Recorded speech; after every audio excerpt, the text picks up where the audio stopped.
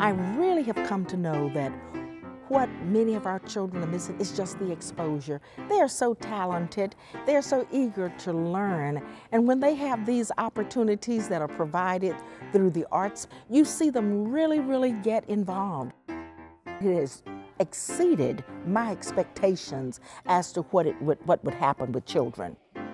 They are actively involved and engaged, and that's what makes all the difference.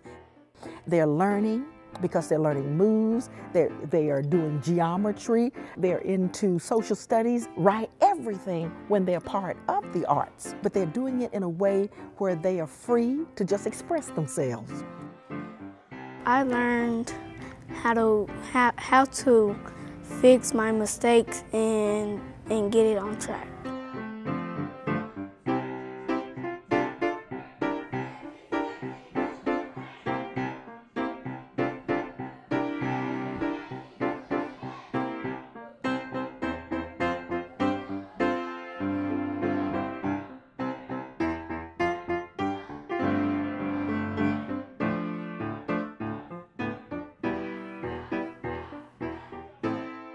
Khalil has learned a lot during this process.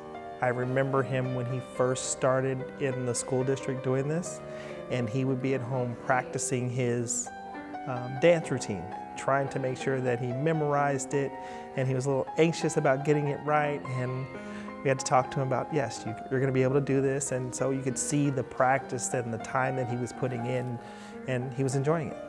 So I like to see him happy and see his enjoyment. Um, being here, I enjoy learning about new cultures and meeting new people and getting new friends.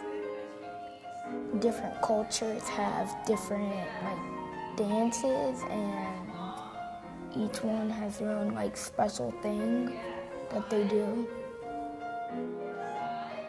Yeah, one of the things that he said is he enjoys learning some of the French words. I'm learning new steps and I'm learning that it is really fun.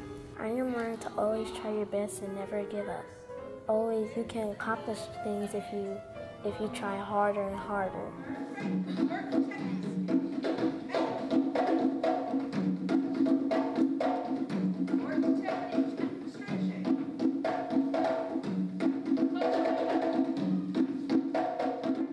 She has definitely become more confident. Um, she kind of holds herself with more poise.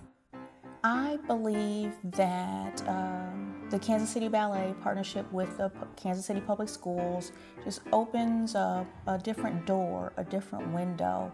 Um, it gives the opportunity for kids to experience something that they probably would not be able to experience in any other way. Um, the fact that it is at no cost is, you know, it's astounding because um, ballet lessons are not inexpensive. Um, and um, so I just think that it's an awesome program. I think that it should continue.